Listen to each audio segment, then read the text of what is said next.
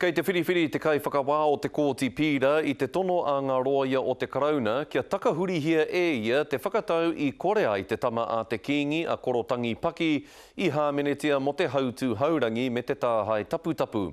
Ko tētahi take nui i tuku hāmene kore ai te kōti i a Paki i ngā marama nei, ko te tohe a tana rōia kei pania te ingoa o te Kīngi ki te riko.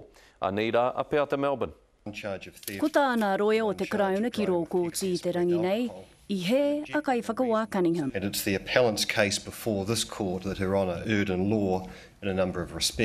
Tērā te kī a Kaiwhakawā Cunningham i te marama o Hōngongoi, ko tētahi take e kore ia i whiu i a Paki mō ana hē, kai kore ia e eke ki te torōna. Koira tonu te take i tautohetia e nā roia o Paki i tēnei rangi. It's the black mark of a conviction that makes it even more highly unlikely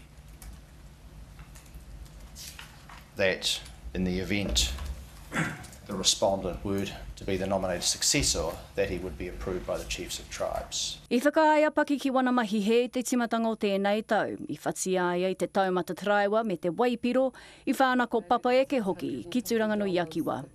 Mai i taua wā, ko tōna iwi anō a ia i whakaurihia ki tētahi hōtaka e tautoko ana i te hunga e taka ana ki te hē. Ko te whāinga a te Karauna i tēnei rangi, he whiunga ki runga ki a Paki. There was a period of disqualification that ran in any event. There was. And. Having regard to the rehabilitative steps in relation to the dishonesty offending, I respectfully submit a conviction would be sufficient penalty in and of itself. Ahakoa mana rangatira o Tainui tonu e whiriwhiri mā wai e eke ki te Torōna, me noho harakore tonu te tangata ka eke hei Kīngi Māori.